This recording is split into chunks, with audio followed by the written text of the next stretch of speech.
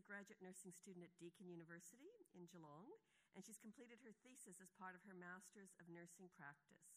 She's involved in teaching into the undergraduate program at Deakin University, and she also works as an intensive care nurse at the University Hospital Geelong. Amber is very interested in the administration and management of supplemental oxygen to critically ill patients requiring mechanical ventilation and the fe- feasibility of a conservative oxygenation approach. Thanks for your presentation. Lovely. Thank you very much for that introduction. Um, it is my first time presenting at a conference like this, so hopefully I can get through without the nerves getting the better of me too much. Um, so, yes, I recently conducted this study at University Hospital Geelong, which is part of Barwon Health. Um, oops, sorry. Um, in affiliation with Deakin University, and it is an area that I've been very interested and also seems to be a little bit of a topic area of intensive care medicine at the moment. So, what do we know? We know that a large number of patients are admitted to intensive care units across Australia and New Zealand, and a significant proportion of these patients require mechanical ventilation. Supplemental oxygen is the most common type of therapy given to these patients, however, specific target levels and dosages are not well understood by ICU clinicians. The factors that impact their decision making when managing these patients is also not well understood. We know that hyperoxia, so a state of oxygen excess, may be harmful to critically ill patients. Um, a number of studies in different patient cohorts um, have found this, and that's been in predominantly metropolitan intensive care units. Um, however, despite these findings, the current practice within ICU still appears to be relatively liberal. There have been now a number of studies supporting the feasibility of a conservative oxygenation approach as an alternative strategy, strategy management. It's also been said that the intensive care unit is the canary in the coal mine, um, meaning that problems within this specialised area may indicate problems elsewhere in the healthcare system. So, the purpose of this study was to evaluate the incidence of mild, moderate, and severe hyperoxia, and we were specifically interested in looking at this regional context, so to see whether um, this regional practice supports the practice that had been proven in larger metropolitan units. We want to explore clinicians' response to hyperoxia and then to further evaluate decision making when managing supplemental oxygen. Sorry. Um, so, in order to achieve these aims, we used a three stage multiple method study design. Um, we use multiple methods so that we could obtain and analyse data both what is going on, not only what is going on within the unit, but also why it is occurring and why we're seeing these um, issues. So, stage what we use both retrospective and prospective, prospective data. Sorry. Um, stage one involved a retrospective medical audit. Stage two, a cross sectional staff survey. And stage three involved focus groups with critical care nurses. We also used the triangulation process to compare and contrast our findings of all three stages. So, the methods of the medical record audit we enrolled the first 100 patients that met the eligibility criteria and required mechanical ventilation. Um, the incidence of mild, moderate, and severe hyperoxia for the first three days of their ICU admission or intubation period were analysed. Proportion of these patients who had their FiO2 adjusted in response to this hyperoxia was also analysed. Um, and we collected data time points in six hourly time blocks, which meant that for the 100 patients, we had over 300 data time points that we analysed. Um, the inclusion criteria were adult patients, so 18 years and above, who required mechanical ventilation for more than four hours, and the only exclusion criteria we had were patients requiring ECMO. In order to analyse um, some patient subgroups in more detail, we came up with some predefined study definitions there. So we looked at the duration of mechanical ventilation, short term, intermediate, and long term. Um, the levels of FiO2, so low, medium, high, and extremely high, and also the degree of hyperoxia, as mentioned, so mild, moderate, and severe. Um, all predefined definitions were based on previous literature and previous studies that had been conducted. So the methods of the two and three, the staff survey. Um, so we used both open and closed-ended questions in the staff survey that was available as both an online and a paper-based um, tool. Uh, the staff demographics and the closed-ended questions were analysed using descriptive statistics. Um, and the open-ended questions, the qualitative data of both the staff survey and the focus groups were analysed using a detailed thematic analysis. Um, we used a semi structured interview guide to guide the conversation within the focus groups. Um, we undertook two small focus groups with five to six nursing staff, and as mentioned, the qualitative data there was used um, with the staff survey uh, in a thematic analysis. Um, the staff survey tool and the semi structured interview guide were both based on previous literature and making sure that we were addressing the specific research aims that we were interested in.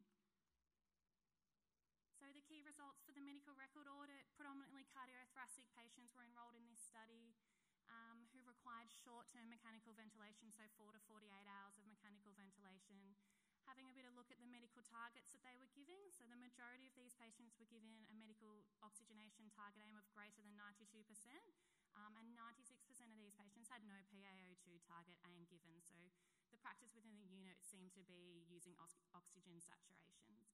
Um, we thought it was interesting that only 6% of patients were given a SpO2 aim of greater than 95%. So, given this study's definition of hyperoxia, not only were these patients hyperoxic, but they were also saturating above their um, medical target aim, most of them. Um, so, looking at the incidence of hyperoxia, so overall 80% of patients had some degree of hyperoxia. The majority of these experience mild hyperoxia, with a smaller proportion of patients experiencing moderate and severe hyperoxia.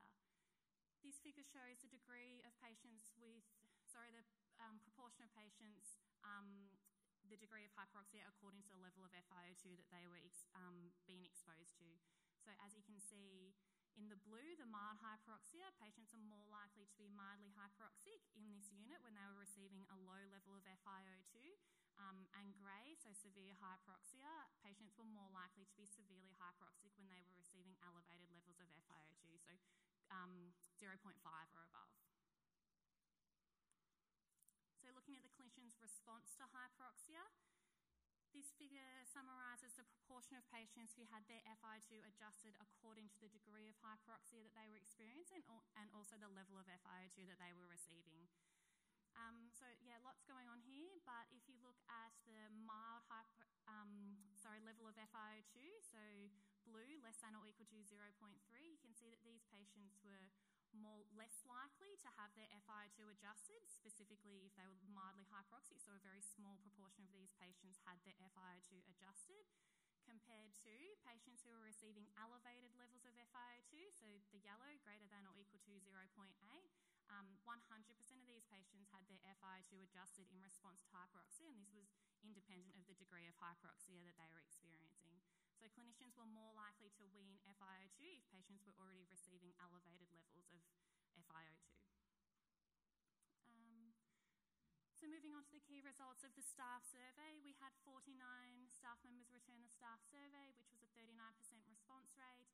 Majority of these were registered nurses, with a small proportion of medical practitioners and one physiotherapist returned the staff survey. So, the key findings that we came up with from the descriptive statistics staff acknowledged the problem of excessive for mechanically ventilated patients. They stated that monitoring of SpO2 was sufficient and safe as opposed to taking regular blood gases and using PaO2 to guide this. Most staff agreed there was no formal protocol for weaning and managing supplemental oxygen within these patients, um, and they acknowledged that both nursing and medical staff are involved in the decision making process. Um, so we thought it was interesting again that most staff agreed an oxygenation aim of greater than 92% was appropriate, um, and 80% of the staff stated that 0.3 was the acceptable low level within this unit. So, key results from the thematic analysis. Uh, two major themes were identified through this process. Uh, the first theme was that decision making is based on unit culture rather than evidence, and this very much stemmed around that lowest level FiO2 within this unit being 0.3, um, with the majority of staff um, having a lack of understanding as to why this appeared to be the unit culture.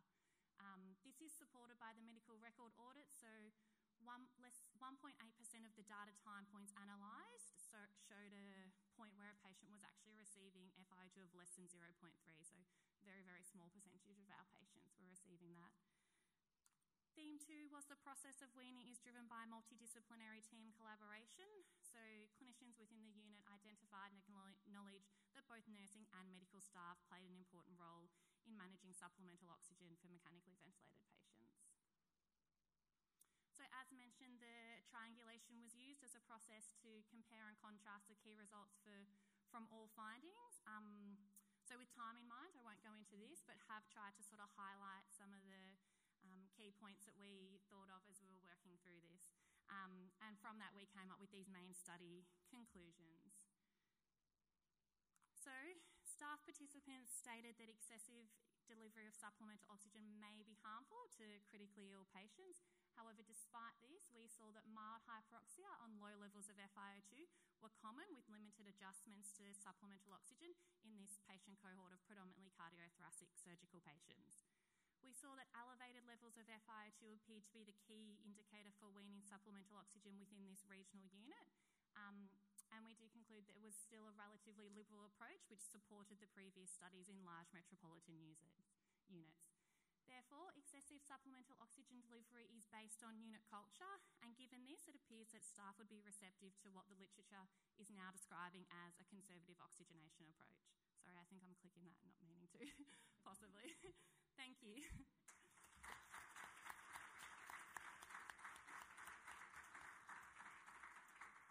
Thanks, Amber. We'll open up to some questions and comments.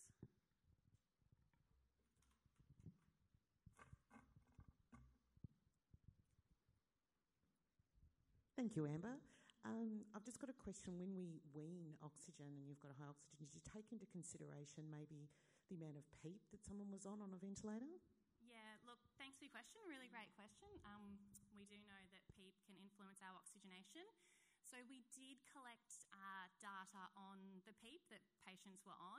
Um, we haven't specifically analysed it within this study. It was sort of out of the scope of practice of this um, thesis that I did. Um, however, I can say it was about 80% of patients had PEEP of 5% on day one, sorry, 5 centimetres of water on day one, so low levels of PEEP or standard of PEEP. Um, and we will be further looking into this. We're going to do some publications, so we'll look at the quantitative data in a lot more detail and the qualitative data separately, and we'll have a look at that a bit more. So, thank you. Good question. Uh, thank you, Emma, for such a lovely presentation. Thank you. Uh, my question is about um, the staff expertise or the staff experience. Did it mm-hmm. affect um, the understanding of um, the harmfulness of uh, excessive oxygenation? Um, yeah, another really good question. Not the idea of that didn't come up in um, the focus groups. I guess is where we would could have got the data from that, um, and that idea wasn't come like didn't emerge as a theme. I guess um, what did was that uh, staff experience um, definitely impacts on how we manage these patients. Um, and one of the other things that was identified was that staff experience, um, increased staff experience will increase nurses' autonomy in managing these patients. So I guess defer a little bit from that multidisciplinary collaboration that we see, but experienced nurses use a lot more autonomy. Hopefully that answers your question. Uh, thanks, Amber. It's Jeff here. In one of the categories, in uh, the, the spirit of full disclosure that I'm scoring here, is how yes. much of this you've done compared yes. to all of your um, illustrious colleagues. Yeah, uh, it feels like a lot. feels like a, a lot. Um, yeah, no, I, I, do think I did a lot. Um, all of the analysis, essentially, um, all most of the analysis I did um, independently. Um, the, we, so we had some difficult patients. With analysis, there's always a few difficult patients or circumstances. Um, so with those patients, I'd go to my supervisors and we'd sit down and work through it. Um, and I guess the key themes and identifying the key themes, making sure that all the research team, so three members of the research team, were happy with that. But I felt like I did a lot of it. so, thank you. Got a couple more minutes.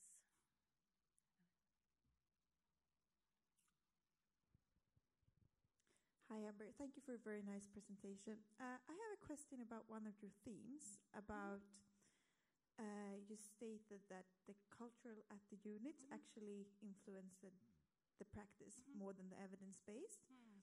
Could you elaborate a little bit more about because you presented like they're two separate things, and in my mind it could be also like if we have, for example, very nicely written guidelines for mm. the staff, mm.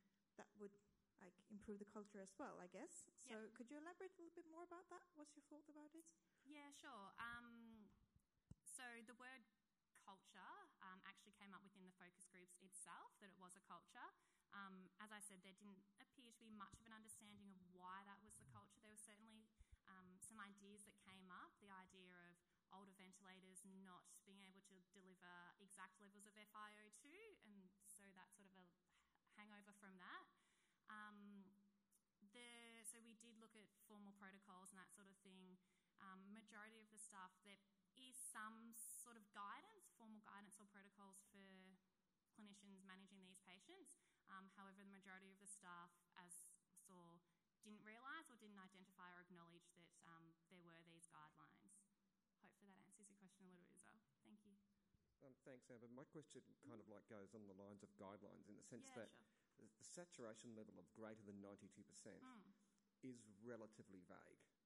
You know, given the Is fact late, it- sorry, it- no, low? vague Okay, yeah, Yeah, yeah, because- yeah, because you know you're saying to somebody, well, if their sats are 100%, it's above 92%. Yeah. It's giving you no guideline in terms of hyperoxia as such. And so that that would add to the culture. So that do you think that having stricter guidelines on what levels of SpO2 and perhaps having a PO2 guide might actually help change the culture within the unit? Yep, um, really good statements, question. Um, so, yeah, that idea of stricter or tighter aims came up in our focus groups, like maybe um, as nurses, clinicians at the bedside, we need tighter aims. So, as you say, 92 to whatever might be, 95%. So, that definitely came up in our focus groups. There's also some literature sort of supporting that, that swim bet- swimming between the flags concepts, um, which I think is a British society that came up with that, um, and they've re-reviewed those um, suggestions there, 92 to 96 percent, not mechanically ventilated patients. But um, yeah, there's actually a really big. Obviously, this was a single site study, ICU ROX study, which people might be seeing rolled out or be involved in. Is very much looking at this and is sort of very much related to what I do. Their what I've looked at, so their conservative oxygenation definition, I guess, is less than 96%. Um, so yeah, there's different different definitions and opinions of how to um, come up with those ta- target aims, what's appropriate, and how to achieve them. Thanks very much. We've run out of time. So, anybody has an additional question, maybe just see um, Amber at the end. Thank you. Thank you very much, Amber.